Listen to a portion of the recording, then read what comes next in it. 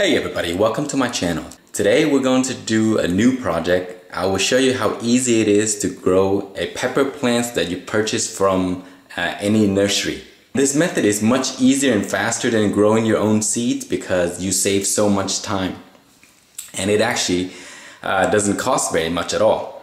So I will list out all the items you will need and then we'll go through the entire process together and then I will track this progress and then I'll let you see the results so you know uh, exactly how this would turn out and then you can experiment this on your own. Today we're using a five gallon bucket but for this five gallon I'm only going to fill it up with three and a half gallon of water and the reason for that is because we're using a non-circulating method often referred to as the Kratky method. For that, we're using a 6 inch net cup. It's listed there uh, as 6 inch. And you can buy this at your local hydroponic store or you can go onto Amazon. This should cost you about $3.50 to $5. And it fits perfectly on top of a five gallon bucket. The next item you will need is a plant. This is a ghost, a Bhut Jolokia that I got from my local nursery and this cost me $1.49. So if you can find this uh, at your uh, nursery, uh, buy in there. They're very inexpensive. Um, sometimes you can even get two, like here, I got two, but I'm just gonna leave them in there. You can actually take this out and split them and you have two trees. But I'm just gonna leave them in here and grow them just like this. There are many advantages to buying uh, pepper plants or any plants at your nursery. One is that look at the size of this plant. It will take you about three months to get the plants to this size. I mean, it's already even fruiting.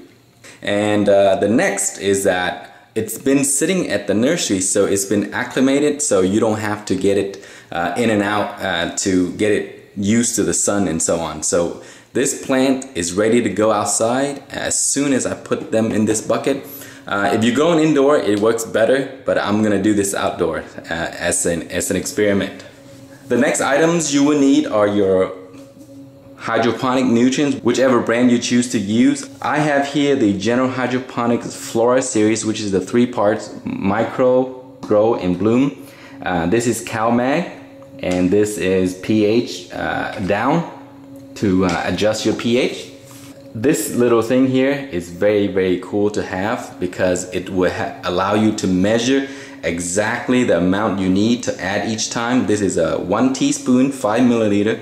So it's a very precise measure, so I suggest go and get one of those. And I'm gonna speed through this video because I already have another video on how to mix nutrients, so if you want more details, I'll provide the link and you can click on there. Okay, so first thing we'll do is we'll start mixing our nutrients. I've already put three and a half gallons of water in here, so I went ahead and pH balanced the water as well. So it's currently sitting at 6.3 I'm gonna add my nutrients, then I'm gonna adjust it again. I've already added two teaspoons, which is 10 milliliter of calcium from the CalMag bottle. Because I want the plants to bloom quick, because it's already blooming, as you can see, I'll show you right here. It has buds on there already. So I'm gonna mix this for the bloom. Always start with the micro, that's suggested. So we'll add three teaspoons in here.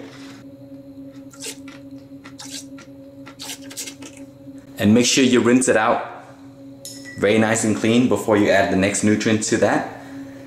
So after you add the nutrients, you want to stir it up for about a minute or two before you add the next. Grow is next. Stir it up. Then next is our bloom. And for bloom, I'm gonna add a little bit more than the rest, so I'm gonna add four instead of three. And there's many ways to do this. You can add more and adjust as you like, but um, just play around with the nutrients and see what works best for your plants. That's what I usually do. I just test around and find the right formula and that's what I use. All purpose is equal parts of everything and then for bloom I just add a, a little bit more bloom than the rest to promote more flowers. Okay, now that we're done, we want to adjust the pH one more time to make sure that it's on point from 5.9 to 6.5. So I'm gonna use this meter here. Okay, it's currently sitting at 5.9 which is perfect. So we're ready to go. What we're gonna do is we'll use this net cup here and we're just gonna put this flat on top. And what we want is that the water level is slightly touching the bottom of this net cup. Then we'll take our plant. Make sure you clean the roots out really well to get rid of all the excess dirt that is attached to the roots. Because what we're gonna do is we're gonna keep this simple and we're simply going to transplant it just like this. Um, let's try to push the roots down a little bit. But that's it we're gonna leave the soil in there because I've done this many times before and it worked just fine. Uh, soil will change the pH of your water, but because the soil is confined in the container, so there's not gonna be much of a problem. Uh, I've already rinsed it out and make sure that every, everything is nice and clean. So we're just gonna place the plant in just like that. Very nice and simple. And it's very much like the double cup method where you lift it up and feed it hydroponic nutrients. Uh, this is basically the hydroponic nutrients is gonna be fed right to the bottom of this container. And the plants eventually will shoot out more and more roots as it start to grow and then the water level is going to drop and once the water level drop the root is going to send more down to reach to the lower water level. Check your pH every four to five days. Make sure it's always between 5.9 and, and 6.5. So I will follow this progress and take you to the whole thing. Now this is optional and if you have clay pebbles like these, put it around the container just to keep it stable. And if you don't have it, that's fine since I have it, I'm going to use it. Eventually the root is gonna drop down and it's going to wrap really tightly around the net cup and it'll help itself stabilize. But for now, we'll just put this here.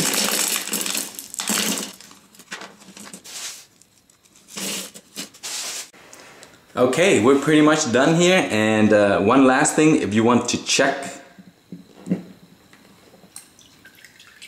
you just, just lift this container up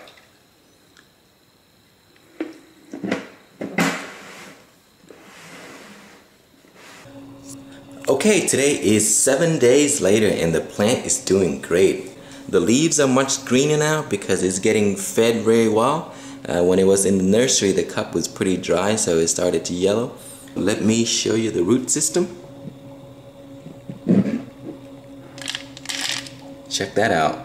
So more roots are sprouting out towards the nutrients level and eventually when more roots shoot out at the bottom, the plant is going to take off and grow much, much faster. So that is the 7 days update. Alright, today has been 14 days exactly. The plant is doing very, very well. It's has some significant growth now since we first transplanted in here. It's starting to love the system and check this out. I'll show you the roots here. Look at that. So I have changed this nutrients out once and the recommended time to do this is every two weeks and the reason for that is uh, uh, I, these are outside and the container is a little bit uh, translucent as you can see. So sometimes algae could form. And so if you have a way to cover these up then it'll be much better then that way algae will not grow. And also you want to make sure that you check the pH level every four to five days because it could jump up a little bit. But uh, yeah, the plants is doing great.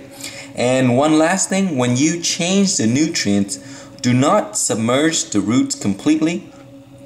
Allow the roots to touch it, but do not submerge it back to the original level because this is a non-circulating method and the roots need room to breathe. So leave a gap and see as I put the roots down the, the net cup is no longer touching the water level only the string of roots down there are touching it so uh, that's just basically how this method works.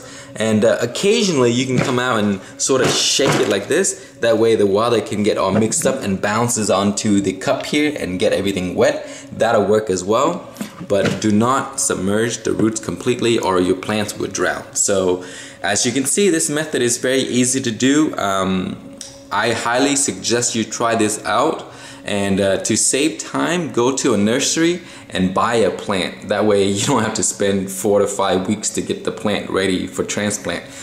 Anyway that's all. I hope you guys like this video. Um, please like comment subscribe and if you have any questions please post them below. And also please make sure to check the description section. I will post some information there as well. Thank you for watching